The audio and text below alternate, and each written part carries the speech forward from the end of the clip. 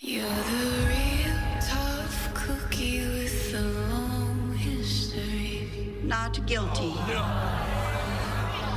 you did everything you could, Maya. The body of the girlfriend of Sevvy Johnson was found five days ago. He did it again. We're gonna put him away this time. For good. You're never gonna get me. Miss me?